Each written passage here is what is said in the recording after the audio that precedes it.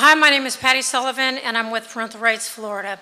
And just a quick caveat, um, since it was brought up, the American School Counselors Association, the American Medical Association, the American Pediatrics Association, this is why this board is needed to bring clear evidence-based rules and guidelines and standards. The past president of the American School Counselors Association in, in August in 2022 at a national conference basically said, here in Florida, we have these laws made, and you need to learn the rules so that you can break the rules. So, this is why you all are needed, and your expertise is needed to bring these clear, evidence based standards.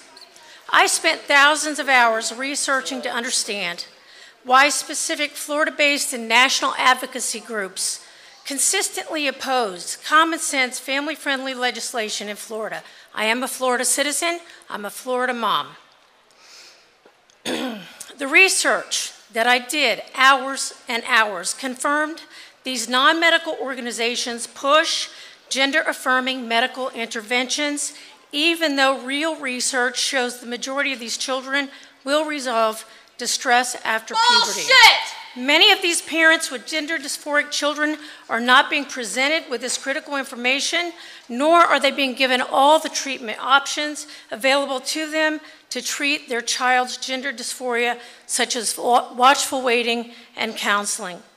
If what is being forced on these children and these families is so valiant, why are these groups, why were they hiding and lying and deceiving and putting these support guides behind the scenes and keeping parents out of the loop?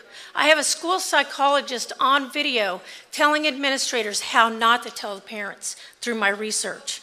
Why are these groups still pushing irreversible medical transition procedures on children when they know that the research shows that the rate of completed suicide increases to 19 times that of the normal population post transition?